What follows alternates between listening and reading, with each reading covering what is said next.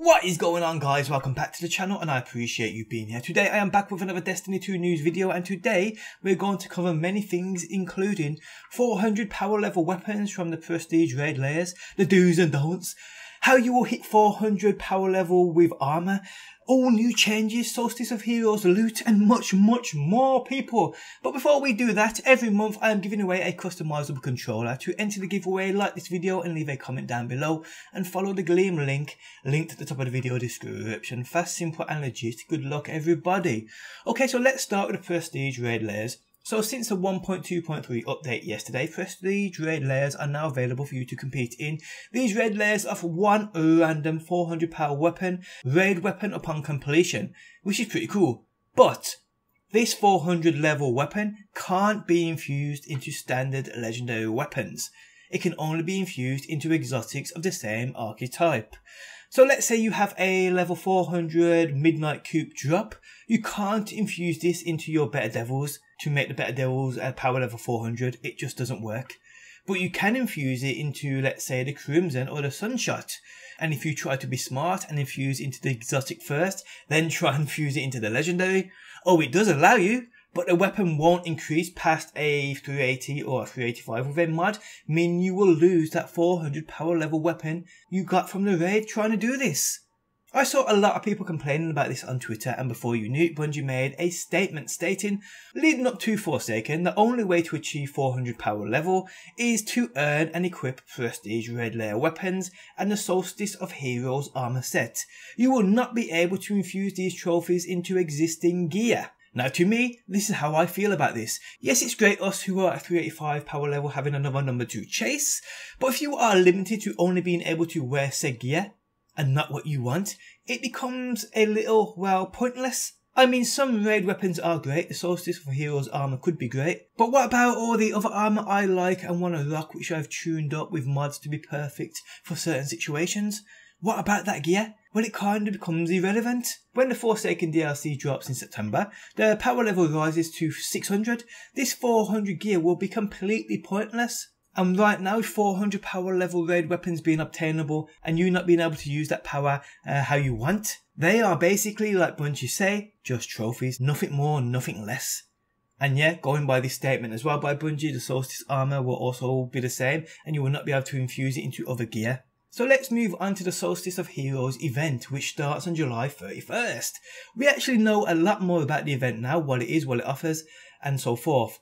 It was a day that was supposed to be a celebration of our past glories, the anniversary of Six Fronts, the victory that united the city and gave us the Vanguard. Guardians donned ceremonial armor to commemorate the event and gathered for a rousing speech by the speaker. Don't know what type of rousing is on about, but yeah, we'll go with it. Then everything came apart when the Red Legion struck. The tower fell, the city was lost, thousands of lives were lost with it. It was our lowest point since the collapse, but humanity is not so easily extinguished. We fought back, we recovered our lost light. With the awakening of the traveller, we faced our conqueror and prevailed. We reclaimed our home, we entered a new golden age. That was almost a year ago. Now humanity is once again victorious against the overwhelming might of Ghaul and the Red Legion, against Panoptes and the infinite threat of the Vex, against Xol and the unfathomable hordes of the Hive. More than ever, the city is grateful for their seemingly invincible guardian protectors. And more than ever, humanity wants to show that gratitude. Solstice of Heroes begins Tuesday, July 31st. This event is held in the tower and allows the inhabitants of the city to celebrate and thank Guardians for bravely defending them, during this time of the celebration, Guardians will once again don the now broken ceremonial armour from the day the city was lost to the Red Legion. They do this for many reasons to remind themselves of what it's like not to be invincible, to challenge themselves and thus inspire the city even more, and to eventually reforge that broken gear into something stronger, just as humanity has been broken and reforged over and over again for hundreds of years. Guardians will meditate on their journey through the Red War and take on additional challenges in those memories. They will marvel at the resurgence of the Traveller as the elements of themselves flare into existence during their adventures, and they will do it all while humanity celebrates their past, present, and future. So that's basically the story behind the solstice. Sounds quite cool, not gonna lie, I'm looking forward to it. Now, Ikora Rey is the tower's representative of the Solstice of the Heroes event. She'll direct you to the centre of the tower where the city has erected, erected really? The Statue of Heroes as a vocal point to the event. The statue will track your moments of triumph's progress, which we'll talk about in a second, and will grant you the Solstice of Heroes event armor that you will begin upgrading. So more about this armor, which you can see on screen now.